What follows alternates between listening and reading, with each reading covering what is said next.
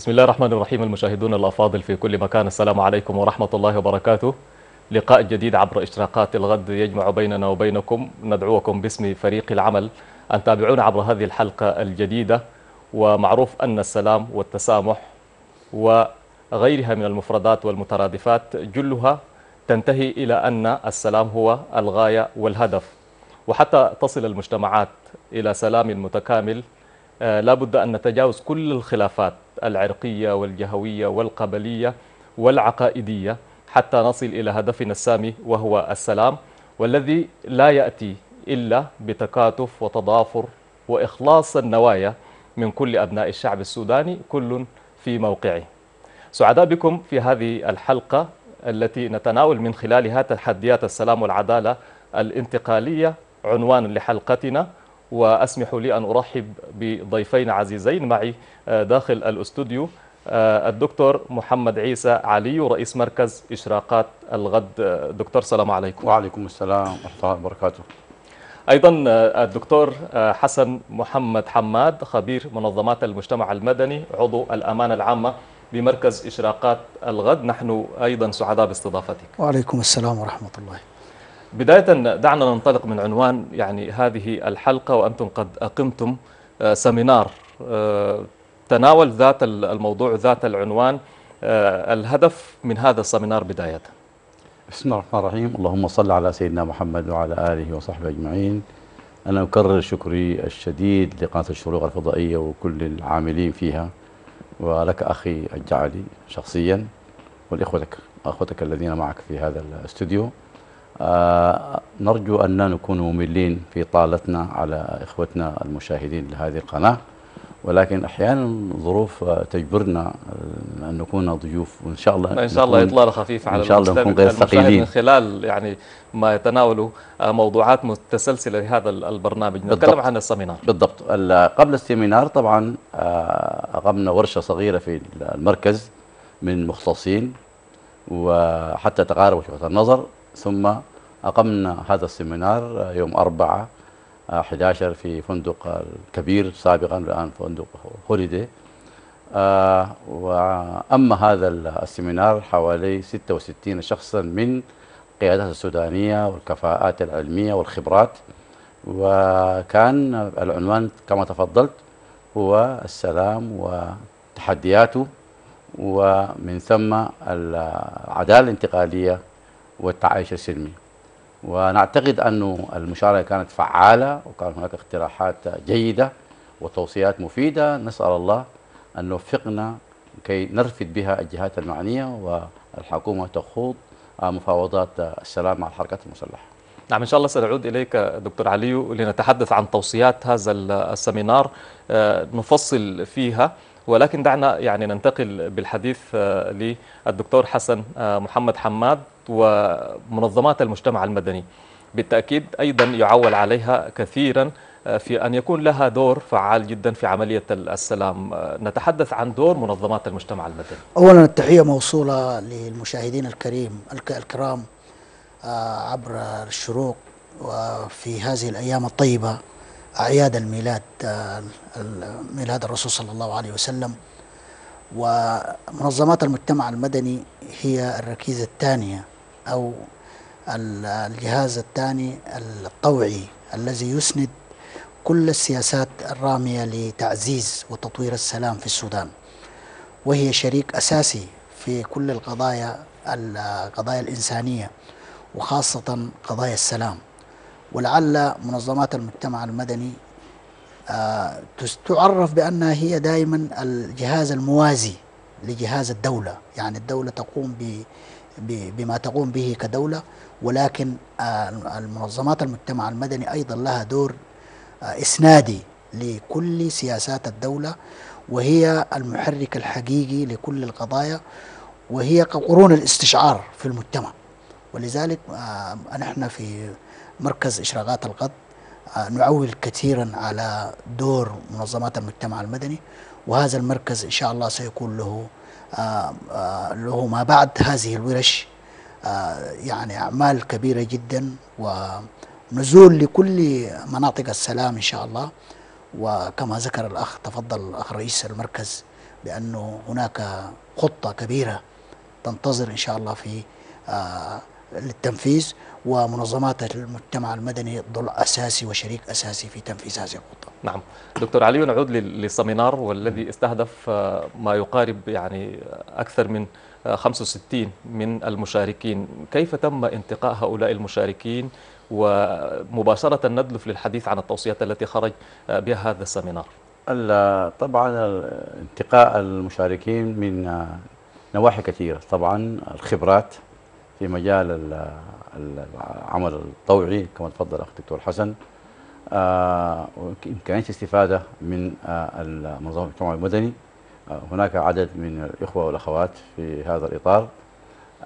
أيضا آه، استفدنا من الكفاءات العلمية ال- ال- الدكاترة في الجامعات السودانية في جامعة السودان ال- العدل مستشارين هم الذين قدموا الأوراق. وأيضا آه، هناك حركات آه، مسلحة وقعت سلام استدعينا عدد منها من قادتها والمرأة والشباب. وهؤلاء تقريبا هم المكون الأساسي لهذه الورشة المفيدة جدا.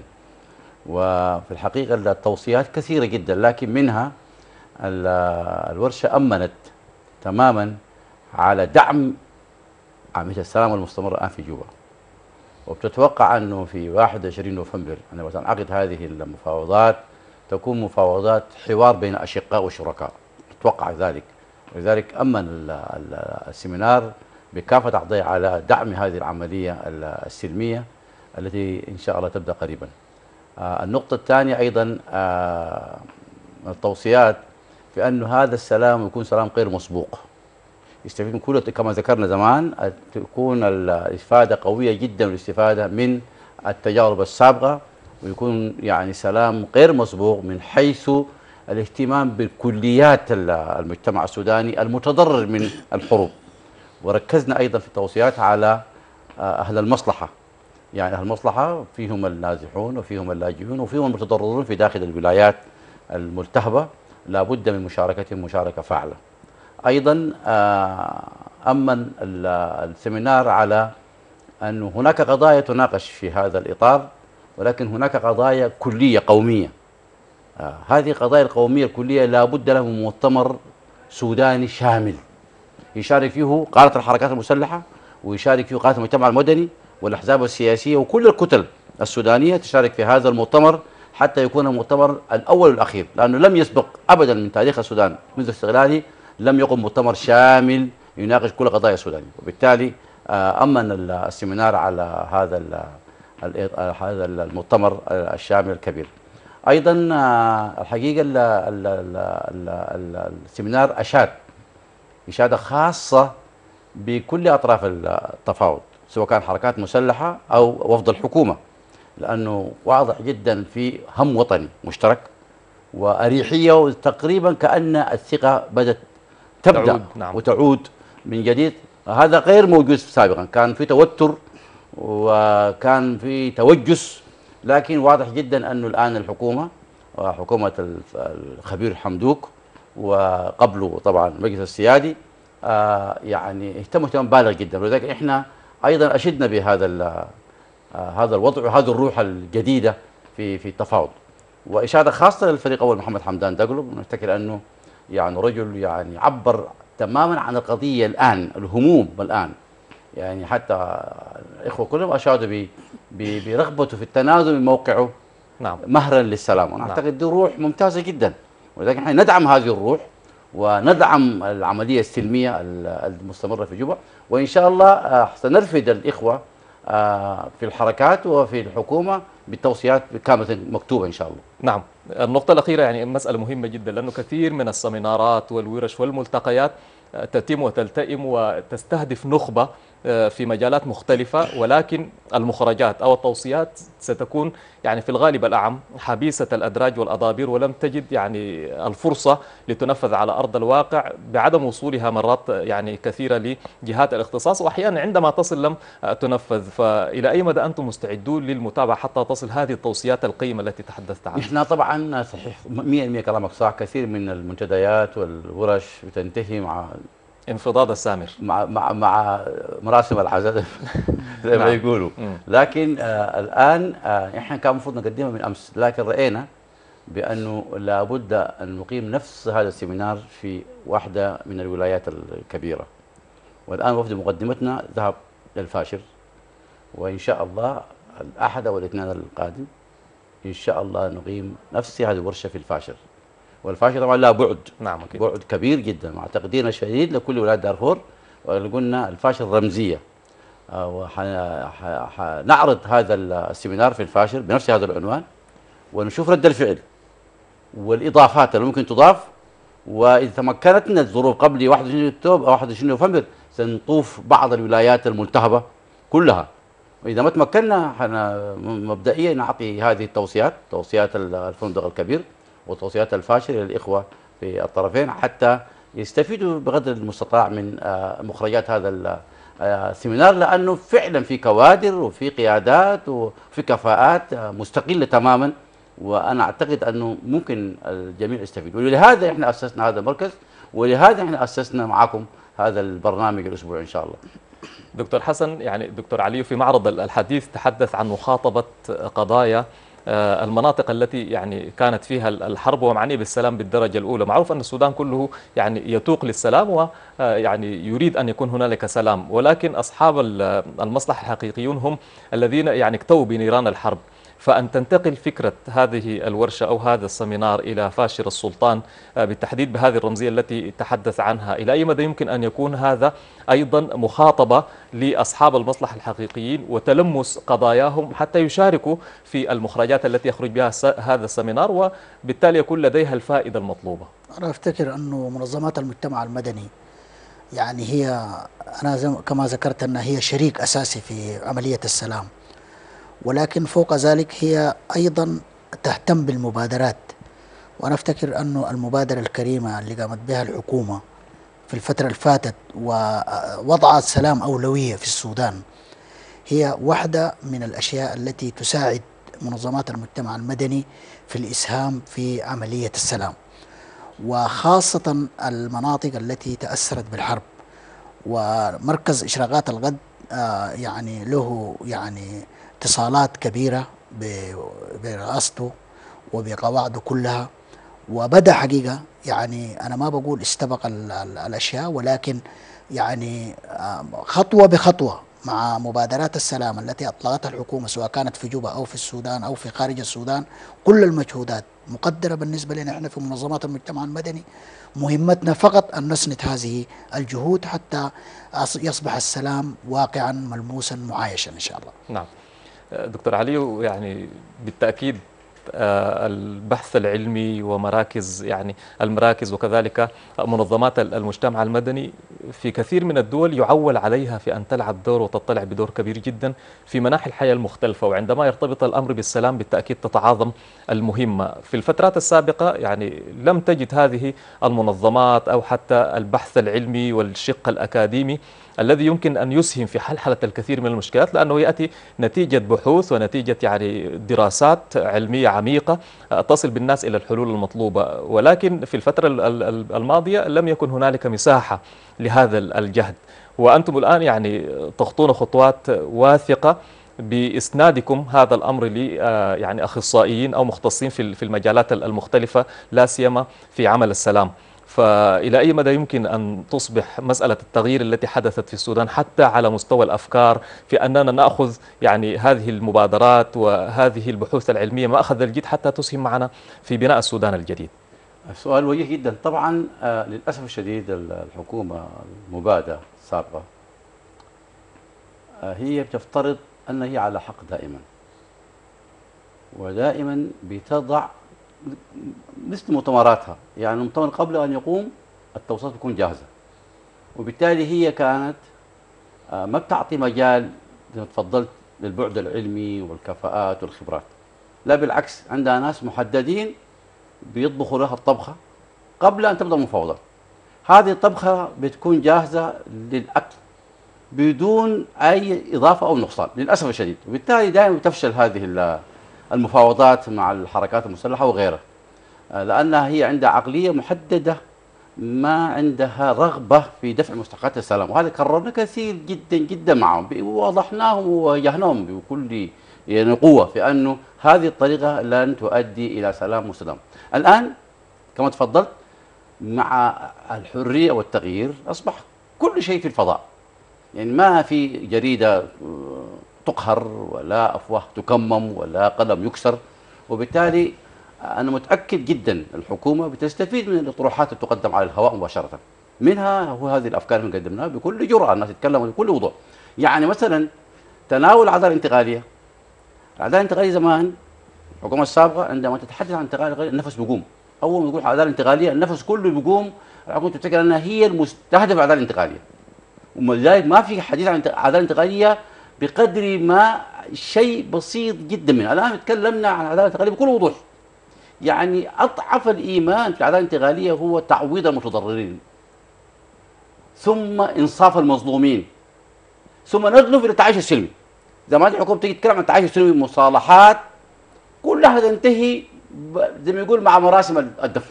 أول ما دفنا هذه ال- الاتفاقات دي وقعناها كأنه قبرناها. بالتالي ما في مصالحات الآن السيستم لازم يبدأ بأنه توقيع السلام ثم العدالة الانتقالية ثم التعايش السلمي. أعتقد في هذا الإطار إذا الحكومة ساعدتنا ممكن ندلف مباشرة إلى مستقبل جديد ومعافى إن شاء الله تعالى. نعم. آه، دكتور حسن بعد التحية لك من من جديد يعني هنالك عديد من المناطق آه، اكتوت بنيران الحرب كما ذكرنا النيل الأزرق جنوب كردفان ودارفور. هذه المجتمعات عانت ما عانت من ويلات الحرب وما زالت آثار هذه ال- الحرب يعني تتمثل في حياتهم اليومية في نقص في الخدمات وإلى ما ذلك من أشياء. كيف لهذه المجتمعات يعني أن تتجاوز تاريخ هذه الحرب الطويلة التي دارت في تلك المناطق؟ وما دور منظمات المجتمع المدني في هذا الأمر؟ آه، منظمات المجتمع المدني حقيقة يعني دورها في هذه القضايا دور إنساني. أولا تقديم الخدمات التدريب التأهيل النفسي والصحي الذي يقدم لهؤلاء المتضررين أو لهؤلاء الضحايا من كافة المجتمعات على المستوى المحلي على المستوى الولائي على مستوى السودان على المستوى العالمي. آه، المنظمات المجتمع المدني تمتد يدها إلى خارج السودان. يعني تشارك أيضا في المجالات الدولية يعني في منظمات دولية في منابر عالمية. تسهم بدورها أيضا في آه، آه، يعني في في المساهمة ومعالجة قضايا الوطن ككل. يعني اللي هي في النهاية تصب في مع- مع- معول السلام وفي معون السلام. ولذلك منظمات المجتمع الم- المدني بال- بالاهتمام بالمجتمع المحلي بالتدريب بعد أن تأذن لها الدولة لأنه المجتمعات المدني ما عندها سلطة. السلطة عند الدولة. الحكومة هي المسؤولة آه، وهي التي تأذن والآن الحمد لله المناخ متاح لكل منظمات المجتمع المدني أنها تلعب دور كبير بشراكات سواء كان محلية أو خارج السودان أو كده أو بقدراتها بإمكاناتها بمؤسساتها كلها بفروعها المنتشرة في كل أنحاء السودان أنها تسهم إسهام واضح في آه، معالجة قضية آه، أزمة السلام وحل معالجة قضية السودان في هذه المناطق خاصة وأنها هي مناطق عانت كثير من الحرب وويلات الحرب ومنظمات المجتمع المدني هي معول أو معون آه، إنساني اجتماعي طوعي لا يعني يقدم الأشياء آه، ب- ب- بصورة إنسانية أكثر منها رسمية. يعني هي هي ما ما مؤسسات رسمية. ولذلك متى ما أتيح لها المناخ ومت- ومتى ما أتيحت لها الفرصة أنا أتوقع أنها تلعب دور كبير جدا في تأسيس السلام. ولا شك أنه أنا اكرر أنه جدية الحكومة. والتزامها بأن السلام أولوية هو واحد من الأشياء التي ستسهم إسهام كبير جدا في تعجيل عملية السلام. وما ذكروا الأخ الدكتور عليوة من أنه الأخ الفريق حم أحمد حمدان كان في جوبا وغيره من أخوانه كلهم في في المؤسسة في الحكومة وفي غيرها. حقيقة ده أدى روح طيبة لمنظمات المجتمع وشجع منظمات المجتمع المدني أنها تضع البرامج اللي ممكن تسهم بها في برنامج السلام في السودان. دكتور علي رغم أنه السلام آه، تحدثنا في كثير من الحلقات بأنه أصبح مطلب شعبي وهدف كل السودانيين بمختلف آه، انتماءاتهم. ولكن آه، هنالك البعض لا يريد لهذا السلام أن يكتمل ويمكن أن تكون هذه واحدة من التحديات التي تواجه السلام في المرحلة الحالية. هنالك تجار حرب هنالك من ينتفع بأن تستمر الحرب إذا كان في دارفور أو في النيل الأزرق أو جنوب كردفان أو غيرها من مناطق السودان المختلفة. فإذا ما أردنا أن نتحدث عن بعض التحديات التي يمكن أن تواجه السلام في الوقت الراهن. والله يا أخ جعل أنا أشكرك جدا. الحقيقة والله أسئلة وجيهة والله. أسئلة وجيهة منطقية. يعني آه، إحنا مراقبين وشاعرين. يعني كما تفضلت انه في جهات واضح جدا ما عندها رغبة لتحقيق السلام. وأنا ما عايز أتكلم أقول وأعرف وأستعجل وأقول الدولة العميقة. ما عايز أقول الدولة العميقة. الدولة العميقة دي طبعا هي طبعا ما في شك موجودة في كل مكان. في كل مكان موجودة. اصله شيء طبيعي. كان في القبيلة في حاجة دولة عميقة كان عصابة التجار آه، دولة عميقة وكان دولة وهكذا. لكن يعني آه أنا أرجعك بسيط. لما قامت الانتفاضه 85 الدكتور جون جرن كان في الامر مؤيد الانتفاضه ولكن فجأة قطعنا الخط لجون جرن عشان ما يجي الخرطوم. لأنه استعجلنا طوالي فترة انتقاليه عملنا سنه وطوالي قلنا انتخابات وهو راجل بيقاتل له سبع ثمان سنين. لابد أن ندوه فترة ويندمج في المجتمع ويكون حزبه. ثم بعد ذلك نخوض انتخابات.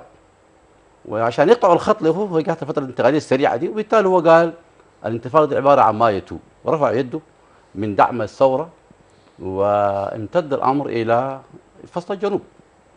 الآن في جهات يعني للأسف الشديد يعني الكلام ده بقوله يعني بكل وضوح بس ما داير أسمي لأن هذا بيجيب لنا هوا زي ما بيقولوا. لكن هي عارفة نفسها. الآن زي ما تفضلت أخي جعلي ما عايزين سلام. هيقطعوا الخط للحركات عشان ما تجي وتندمج في المجتمع وتكون أحزابها عشان تخوض انتخابات بالتشارك مع الآخرين. يفتكرون دي خطورة؟ خطورة بالذات ال- ال- الهامش كما يسمى. لأنه هامش ده وفيه الحلو هامش ده فيه نور فيه عقار وفيه من وهكذا. وبيفتكروا أنه ال- الناس دي إذا جات وشاركت وخشت معانا في انتخابات يعني يكون في مستقبلنا يكون مظلم سياسيا. وأنا والله أقول هذه النظرة غلط خطأ كبير جدا. السودان ده للجميع؟ وهؤلاء الناس عندما يحضرون سيذوبون في المجتمع. يعني لن لن تكون كل هذه المجموعات كتلة واحدة. مستحيل. مستحيل تكون حزب واحد. نهائيا. نعم.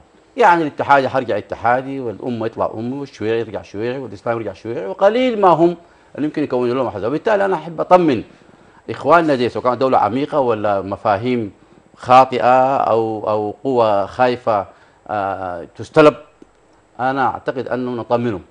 ادعموا السلام عشان السودان ده يقوم على رجليه وعشان الجميع يشارك وأنا متأكد حيجدوا نفسهم في المستقبل مع الآخرين. ولكن هذه الطريقة اللي أنا شايفها الآن في وقوف ضد أنا الان الآن يبدو انه الحركات طلعوا بيان قبل يومين. الحركات المسلحه بيقول إحنا وقعنا في آه، اتفاق المبادئ على نقاط. الآن الحكومة بتحاول تتراجع عن هذه النقاط. وبالتالي يعني معناه زي ما تفضلت في جهات من خلف الكواليس نعم. شغالة عشان السلام ده يمشي إحنا بنقول لهم يا جماعة أدعموا السلام. نعم. السلام ده والله لا ياتي لي بخير. إن شاء الله. آه، سيأتي السلام بالخير. نتمنى أن آه، تفلح كل الجهود لتحقيق هذا السلام. سنذهب إلى فاصل ومن ثم نأتي لنتواصل معكم في هذه الحلقة. تكرموا بالبقاء معنا.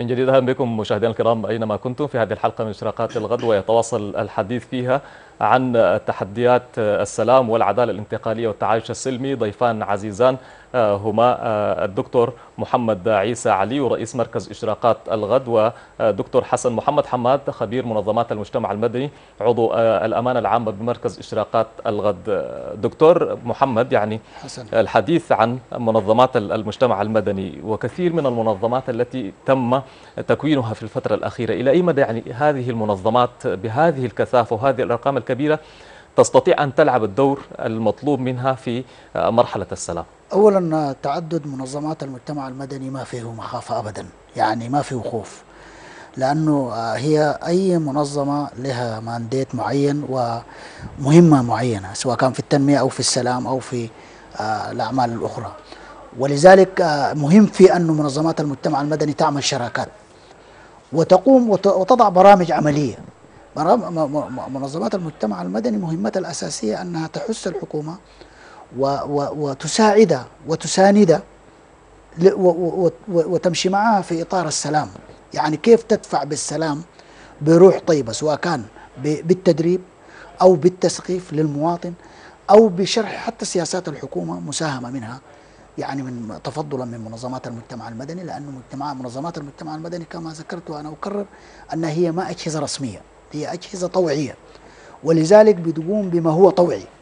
أنا بفتكر انه منظمات المجتمع المدني الموجودة في السودان إذا فعلا آه، آه، وظفت توظيف سليم ووضعت برامج آه، يعني بتعضد وبتعزز مسيرة السلام السلام بيكتمل. أنا أمن على الكلام اللي أخونا قاله الدكتور محمد عيسى أنه السلام فيه تحديات. وأهم التحديات أنه كيف الحكومة تستطيع هي كدولة أو كحكومة أنها تكسب المعارضين وأنا أتوقع أنه أخونا محمد دكتور محمد لأنه له باع في هذا المجال وهو واحد من المفاوضين من قبل يعني أكثر من 10 15 سنة له تجربة طويلة. أنا أتوقع أنه نسمع منه في هذا الكلام يعني في هذا الجانب. لكن إحنا كمنظمات مجتمع مدني بنحث الحكومة أنها ما تفرط في أي مستوى في أي قدر من السلام حقق حق نحافظ عليه. نعم. وده يبقى لنا أرضية عشان ن- نوسع فيه دائرة السلام. وأنا أنا على يقين أن السودان الأهل السودان أهل فطرتهم سليمة وفطرتهم فطرة تسامح والسلام مبني على السماحة وعلى التسامح. إذا أن إحنا في السودان كلنا تراضينا أنا إحنا نتوقع أننا نكون نموذج للعالم الآخر. خاصة إحنا في تجربتنا في منظمات المجتمع المدني حينما نخرج من السودان بنلقى أنه نفسنا كأننا قدوة للآخرين أقول هذا بلا فخر يعني. نعم. في كل مستويات منظماتنا بتاعت المجتمع المدني حتى في نظام دولتنا. مهما نكون مهما نكون مختلفين كسودانيين برا لكن برا وجهنا واحد وشكلنا واحد وقضيتنا واحدة. وفي النهاية في الداخل أيضا مصيرنا هو السودان أن السودان يتوحد ويرقى إلى سلام آه للأجيال القادمة. نحن بنقول أنه بنبشر الأجيال القادمة أنه ال- ال- ال- ال- ال- ال- ال- المرحلة القادمة إن شاء الله هي مرحلة معرفة ومرحلة علم ومرحلة تطور حقيقي ومرحلة عقل. نعم. يعني أكثر منها مرحلة بتاعت م- فتن ومرحلة بتاعت تشاكس هي مرحلة عقل ومرحلة علم. خلينا إحنا ندي فرصة للمجتمع المدني ندي فرصة لل... لل... لل... للأخوان للأجهزة الحكومية أنها تضع البرامج اللي ممكن نسندها عشان ما نحقق دولة راشدة ودولة مستقرة ودولة بتنعم بالسلام ومواطن بينعم بالسلام في السودان دكتور حسن زي طالب إنه يعني أنت من خلال خبرتك التراكمية في أمر السلام والمفاوضات يمكن أن تكون هنالك إضافات حتى فيما يتعلق بالتحديات التي تجابه السلام واتفاقيات السلام الآن.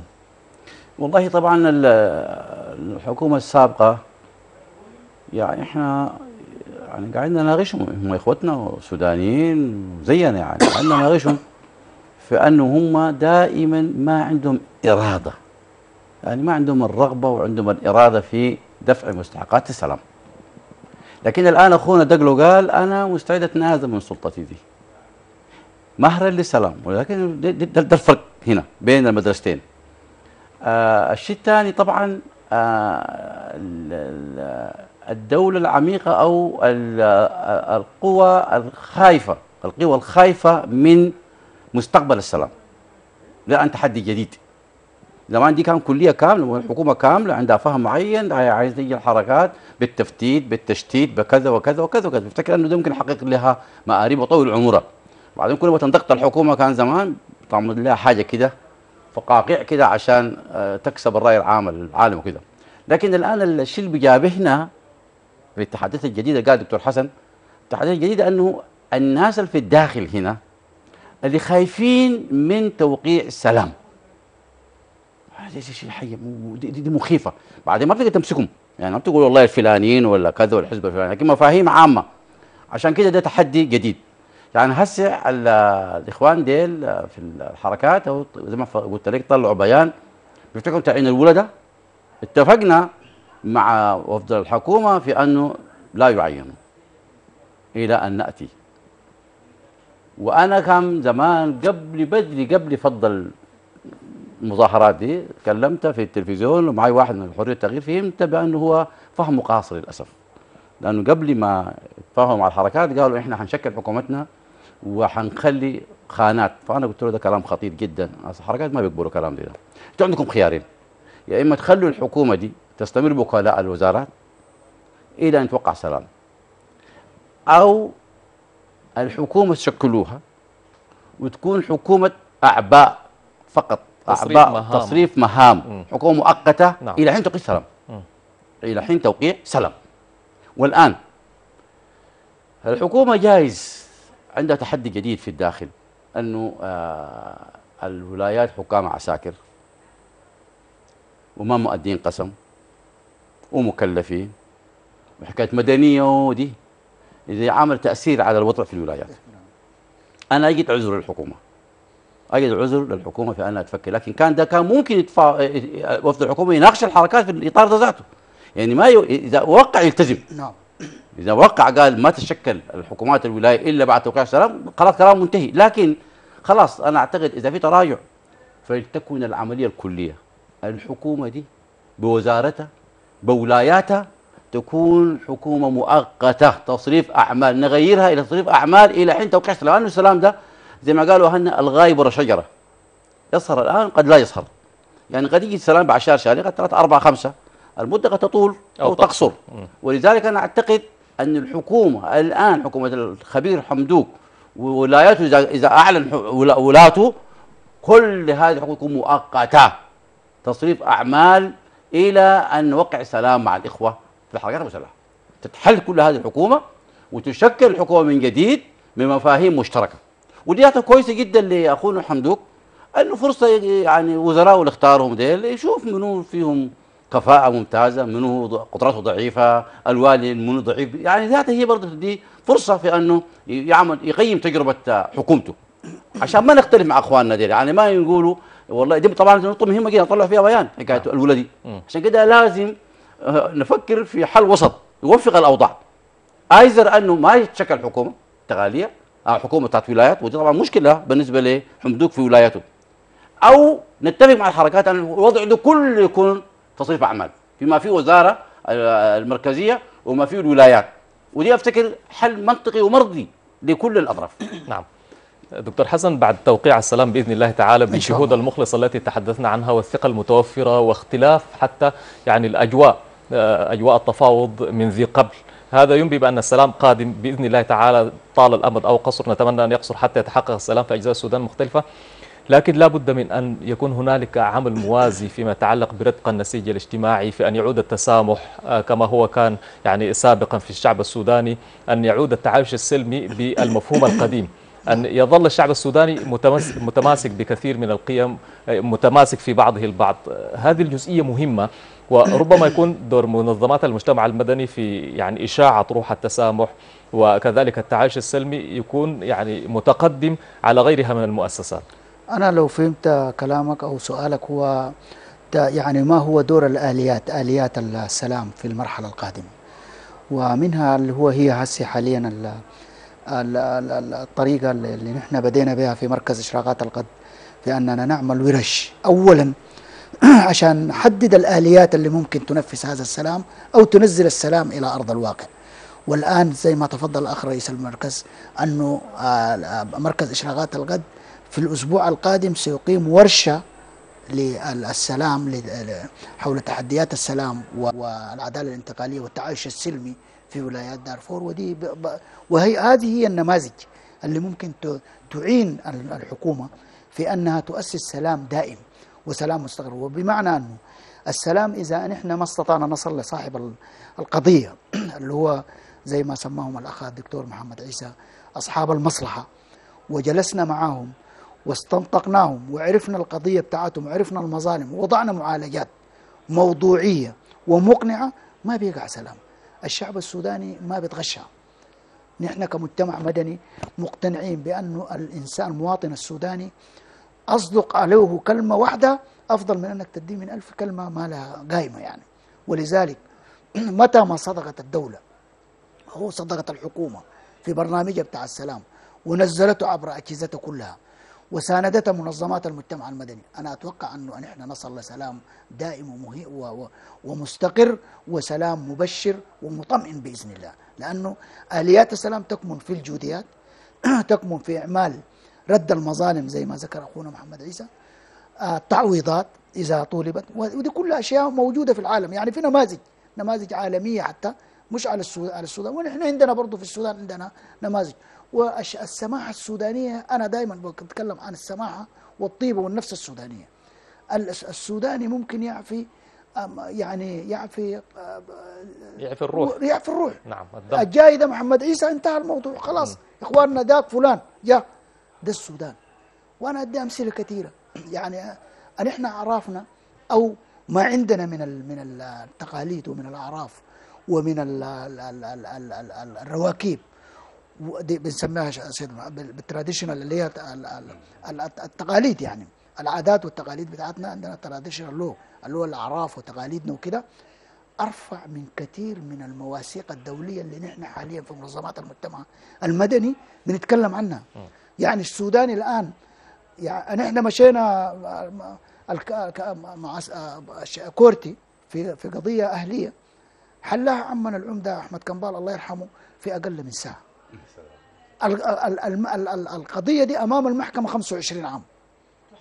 25 عام. حلها فقط قلنا له يا عم أحمد ان إحنا غير أننا نشرب الموية ما بناكل في بيتك.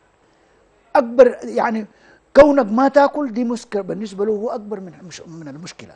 فمشى جانا جانا في حل المشكلة في أقل من ساعتين جانا بحل المشكلة. الله يرحمه. عمنا أحمد كمبال. عمنا آدم رجال في مقدوم في في نياله. وأمثلة كثيرة في الشمال والشرق حسب نعم. تجربتنا يعني. عرب اثنين آه، سايقين بقرهم الحرامية قطعوا البقر شالوا مني البقره هم عندنا ناس زي دي في, في زمان في دارفور. فدخلوا الزريبة ودارين يبيعوا البقرة البوليس لحقهم مسك البقرة جابها للمحكمة للمقدومية. لما جابها للمقدوم سأل الحرامية قال له البقرة حقتكم؟ قال هي حقتنا. علامتكم شنو؟ قال ما عندنا علامة. قال لي أنت علامتك شنو؟ قال أنا بد... لو ناديت البقرة دي بتتبعني. قام نادى البقرة حميرة حميرة تبعته وبالتالي هو أخذ المحكمة. ده السودان. أنا إحنا بنفتكر ان إحنا المجتمع السوداني عندنا إرث أرفع من القوانين وأرفع من المواثيق الدولية إذا استخدمناه في هذا السودان إن شاء الله نطلع إلى بر الامان بدون معركة. شكرا جزيلا. دكتور علي بيقودني مباشرة لسؤال يعني حول ضرورة أن يتكاتف جميع أبناء السودان بخبرتهم بحكمتهم يعني بكل هذا ال- التسامح الكبير وبكل التقدير لما هو كبير. يعني في مسألة السلام أمر مهم جدا خاصة أنه إحنا بنتكلم عن أصحاب المصلحة بنتكلم عن آه، المجتمعات المحلية المتضررة من الحرب. فما أكثر الأجاويد هناك وما أكثر الجوديات وما أكثر الذين يستطيعون حل هذه المشكلات دون تعقيد. يعني بتكلم عن ساعة لحل مشكلة ربما يعني احتاجت لأشهر عديدة في أن تحل بالقانون أو بالجوانب الرسمية. شكرا جزيلا. حسب دراساتنا وقراءاتنا وزياراتنا للسودانيين شمال وجنوب وغرب وشرق. أكثر من 95% من السودانيين ما عندهم أي إشكال بل بالعكس يعني عندهم رغبة عارمة في أن يتحقق السلام في البلاد. ما في ذلك شك. لذلك هم مع وحدة السودان مع وحدة الكلمة مع الاستقرار مع يعني السلام لكن في فئة قليلة جدا. وأنا بخاطبها الآن. هذه الفئة لا تزيد عن خمسة في المية من السودانيين لكن صوتها عالي. وهذه الفئة فقط رغبتها الاستحواذ والاستئثار بالسلطة والثروة. وبيفتكر انه أي جهة جديدة بتضايقها نحن يا جماعة نقول لهم يا جماعة كفاية. زي ما قال الخواجات very satisfied أنكم أنتم خلاص. خليكم مع الآخرين. خليكم مع الجميع. كفاية جدا لأنه أكثر من كده أي شيء فات حده بينقلب ضده. ضده. أنا والله أخاطب هذه الفئة وهي فئة بتعرفني وأنا بعرفها وناقشتها وناقشتني. أنا أعتقد أنه حقه نرجع إلى الله سبحانه وتعالى. ونرجع إلى ضمائرنا. بلد انتهت. السودان ده انتهى خلاص. السودان العملاق ده أقعد تماما. أقعد تماما. بفاعل هذه الخمسة في المئة. والله ما تزعم في خمسة في المئة. خمسة في المئة كلهم أبرياء لكن صوتهم خفيض وما عارفين يمشوا وين يمسكوا من وين. لكن هذه الفئة متنفذة سواء كان في الحكومة السابقة ولا الحكومة الموجودة ولا يمكن تكون الحكومة المستقبلية. هذه فئة موجودة. نحن بنخاطبها بنقول لهم أخواننا يعني أشفقوا شوية على هذا المجتمع. وأنا جاب لسؤالك ده بفتكر انه الغالبية العظمى من السوداني هي مع الوحدة ومع الاتحاد ومع الاستقرار. لكن هذه الفئة البسيطة أرجو انه نحن يعني نخاطبها في انه تكن حزية تكن حزية مع الناس. نعم. دكتور حسن في معرض حديثك في المحور ال- ال- السابق تحدثت عن تجارب ال- الدول. وممكن نقتفي أثر كثير من الدول اللي عندها تجارب في صناعة السلام والاستقرار والتعايش رغم التباين الكبير بين آه، مجتمعات. وأظن كثير من الدول آه، في البال الآن آه، يعني أي زول متابع بيستحضر هذه الدول. فإلى أي مدى يعني نستطيع آه، نقتفي أثر تلك الدول في تحقيق ال- العدالة الانتقالية التي نتحدث عنها؟ أنا أولا يعني هذا السؤال ينقلني إلى وجود السودان على المستوى العالمي. ونظرة المجتمع العالمي لل أو المجتمع الدولي للسودان. السودان في وجوده في البند العاشر الآن. بالنسبة لنا إحنا كمنظمات مجتمع مدني وحسب مف- مفاهيم منظمات المجتمع المدني وحسب الم- ال- المواثيق الدولية السودان في البند العاشر هو خارج عن آه، مرحلة الانتهاك. يعني تجاوز مرحلة الانتهاكات إلى مرحلة التعافي. الآن السودان في البند العاشر. النماذج التي يعني آه، كانت في في بعض الدول يعني في بورندي وغيرها هي نماذج قامت بطريقة مختلفة من حقتنا نحن شوية. يعني نماذج يعني قامت بأسس عرقية اولا بحتة وتحلت بنظم بنظم سياسية. نحن قضيتنا قضية اجتماعية في المقام الأول. يعني قضيتنا قضية اجتماعية صحيح هي برضه فيها لها ظلال سياسية لكن الظلال السياسية ما يعني تسبق الظلال الاجتماعيه يعني عندنا مشاكل داخلية حقتنا هي تطورتنا إلى مشاكل أخرى. بعد ذاك جاء فيها المطلب السياسي آه، بقى بقى قضيه نعم.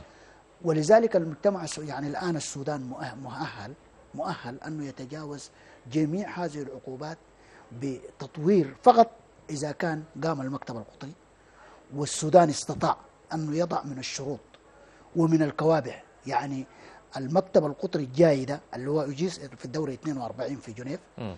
بأنه يقوم مكتب قطري للرقابة للرقابة للرقابة لحقوق الإنسان إذا السودان استطاع أنه هذا المكتب يضع له تكييف يعني حسب حسب ال mandate بتاعه بصورة ما يتوافق مع مفوضية ال- ال mandate بتاع مفوضية ال- المفوض السامي في السودان آه، ونجح فعلا استطاع أنه يضع آه، ضوابط ضوابط أنا بقول ضوابط لأنه أي مؤسسة أنت لما ما تضع لها ضوابط هي بتعمل بالكيفية اللي هي بتراها.